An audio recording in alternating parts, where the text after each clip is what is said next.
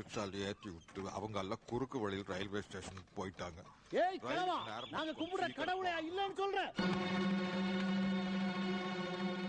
நல்ல புது செருப்பா இருக்குதுங்க. ஒரு செருப்பை வச்சுக்கிட்டு வீசினவங்களுக்கு பிரயோஜனம் இல்லை எனக்கும் பிரயோஜனம் இல்லைங்க. ஏனுங்க ரிக்ஷா தம்பி கொஞ்சம் அப்படியே வண்டி கொஞ்சம் வண்டி திருப்பு திருப்புங்க அப்படி திருப்பு. பார்த்து பார்த்து மெதுவா மெதுவா.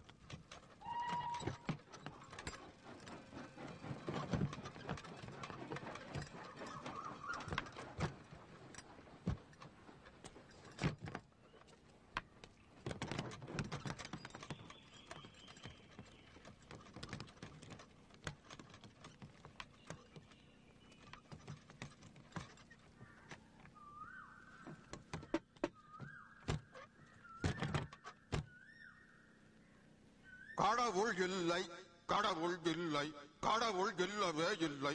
கடவுளை கற்பித்தவன் முட்டாள் பரப்பியவன் அயோக்கியன். வணங்குகிறவன் காட்டு மிராண்டி. இவன் அடங்க மாட்டான் ஓய் அடங்க மாட்டான். இவன் எல்லாம்.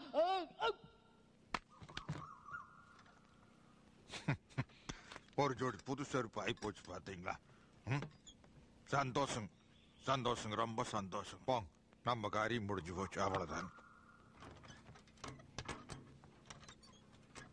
தொண்டு செய்து பழுத்த பழம். தூயதாடி மார்பில் விழும். மண்டை துரப்பை உலகு தொழும் மனக்குகையில் சிறுத்தை எழும். அவர்தாம் பெரியார். பார் அவர்தாம் பெரியார். ஐயாவுக்கு வெங்காயம்னா பிடிக்காது? இங்க எடைக்கட வெங்காயம் தராங்களே. இங்க கொஞ்சதமா கேக்குறாங்க. ஐயாவுக்கு வெங்காயம்னாலே ஆகாது என்னடா இது இங்க வெங்காயமா கொடுக்கறாங்களேன்னு. அது ஒண்ணும் இல்ல. ஐயா ஒண்ணும் இல்லாத விஷயம்னாலே வெங்காயம்லாம் சொல்லுவாரு. காரணம் வெங்காயத்தை உரிச்சு பார்த்தா உள்ள ஒண்ணுமே இல்ல. அதே மாதிரிதான் கடவுள் ஜாதி மதம் எல்லாமே ஐயாவுக்கு வெங்காயம் தான்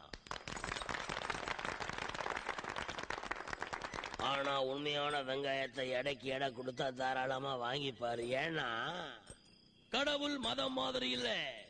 இந்த வெங்காயத்துக்கு வேல்யூ இருக்குது. அது மட்டும் இல்லாம ஏற்கனவே ஐயாவுக்கு மண்டி வச்சு பழக்கம் இருக்கிறதுனால இந்த வெங்காயத்தை நல்ல விலைக்கு வித்துருவாரு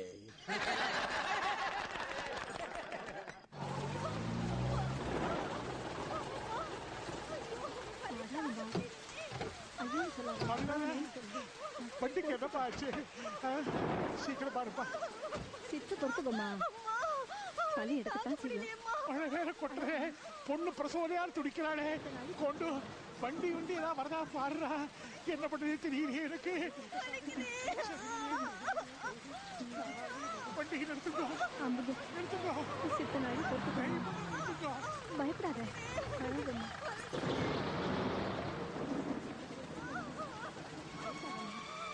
கொண்டு மோசம் போயிட்டோம். நாயக்கர் வண்டி. அவருக்கு நம்மளை பார்த்தாலே வேஷம் ஜாஸ்தி அவர் உதவி பண்ணுவார்னு எனக்கு நம்பிக்கை இல்லப்பா. தம்பி யாரோ புரட்ச வழியில் குடிக்கிறாங்க போய் சீக்கிரம் கூப்பிட்டு வாங்க. ஐயா நீங்க வாங்க வாங்க. உள்ள வாங்க வாங்க.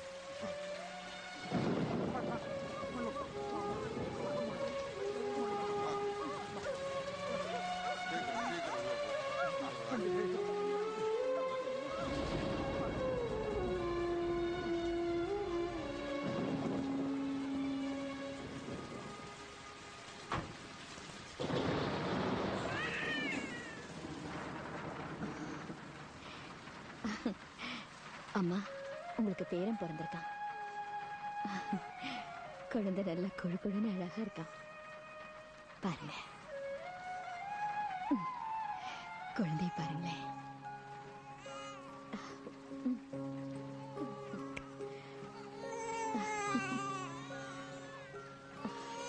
ஓ ஓ ஓ நாயக்கர் சரியான சமயத்தில் வந்து எங்களுக்கு உதவி பண்றீங்க. இந்த உதவியை வாழ்நாள் பூர்வம் நாங்கள் மறக்கவே மாட்டோம். தெய்வம் மாதிரி வந்திருக்கேன் உங்களை இது நாள் வரைக்கும் தப்பாவே புரிஞ்சுட்டு இருந்தோம். க்ஷமிக்கணும்.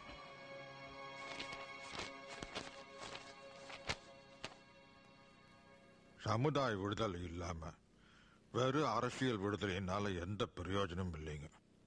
இந்த ஆகஸ்ட் பதினஞ்சு நடந்திருக்கிறது. வெறும் மேடாவர் மட்டும்தான்.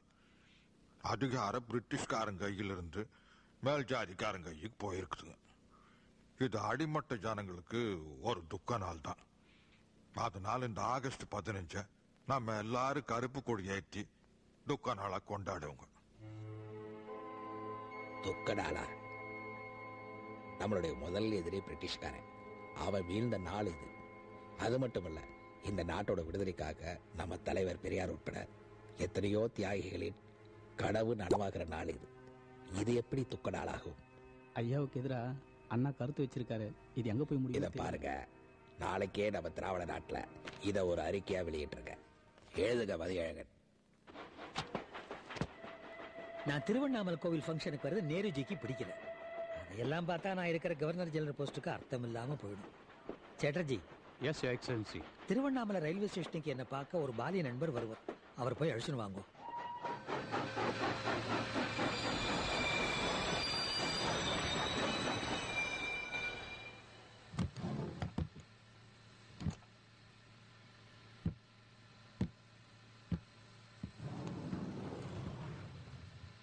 ஆச்சரியாரு. எங்க இயக்கத்துல எனக்கு எதிரான போக்கு வளர்ந்துகிட்டே வருது. யாரையுமே என்னால் நம்ப முடியலைங்க. அதனால விஜக்கத்துக்கு ஒரு ஏற்பாடுங்கிற முறையில் எனக்கு உதவியா இருக்கிற மணியம்மைய திருமணம் செஞ்சுக்கலான்னு இருக்கிறனுங்க. அதுக்கு நீங்க வந்து சாட்சிக்கு எடுத்து போட்டா நல்லா இருக்கும்னு நினைக்கிறேன். அது உங்களுக்கு சாத்தியப்படுங்களா? உங்க ஏற்பாடு சரிப்பட்டு வரும்னு எனக்கு தோணல. இது ஜனங்க மத்தியில உங்களுக்கு இருக்கிற மரியாதையை ரொம்ப குறைச்சிடும்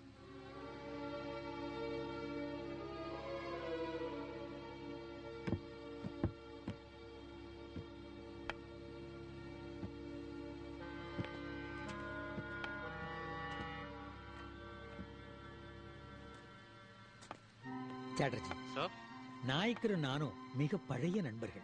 எங்க ஊர் அரசியல். ஒருத்தருக்கு ஒருத்தர் அன்பை பரிமாறிக்க கூட வாய்ப்பில்லாம பண்ணிடுச்சு. இன்னைக்கு இவர் வந்து என்ன சந்திச்சது கூட ஒரு வரலாற்று நிகழ்ச்சியா ஆகலாம்.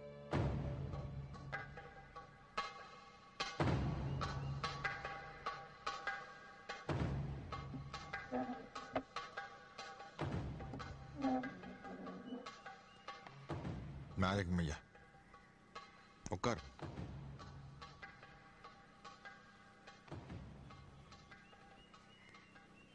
போர்மான் கூப்பிடும்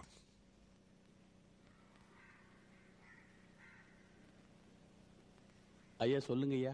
இனிமே இம்ப்ரிண்ட்ல இவங்க பேர் கே ஏ மணின்னு போடாம ஜி வேறா மணி அம்மையார்னு போடும் சரிங்க ஐயா.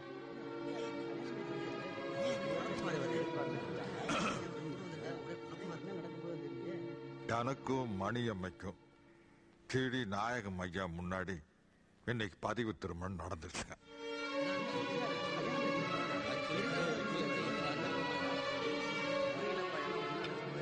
இருங்க இருங்க இருங்க. எல்லாரும் உட்கார் முதல்ல உட்கார். நான் சொல்றது கொஞ்சம் கவனமா கேளு. உடலுறவு சந்தோஷத்துக்காக நான் இந்த கல்யாணத்தை பண்ணிக்கலைங்க. அதுதான் நோக்கம்னா அது கல்யாணம் பண்ணிக்கணுங்கிற அவசியம் இல்லைங்க.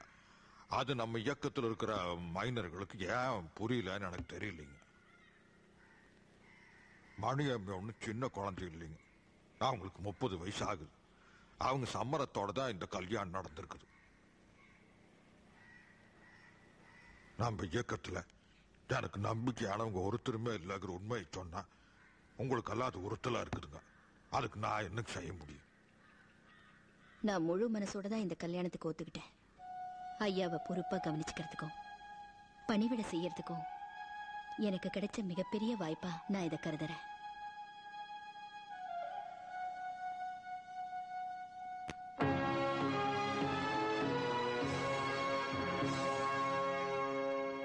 வரலாற்று முக்கியத்துவம் வாய்ந்த இந்த தருணத்திலே இன்றைக்கு நாம் இங்கே கூடியிருக்கின்றோம். நமது அரசியல் எதிரி ஆச்சாரியாரை சந்தித்த ரகசியம் பேசியதும் அதை பற்றி நான் கேட்டதற்கு அது என் சொந்த விஷயம் என்று கூறியதும் அதன் பின் திருமணம் செய்து கொண்டதும் பெரியாருக்கு நாவெல்லாம் ஒரு பொருட்டே இல்லை என்பதை எடுத்து காட்டுகிறது.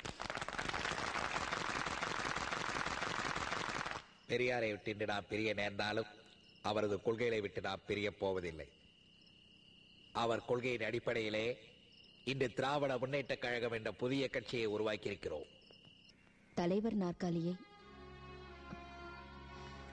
பெரியாருக்காக காலியாக வைத்திருப்போம்.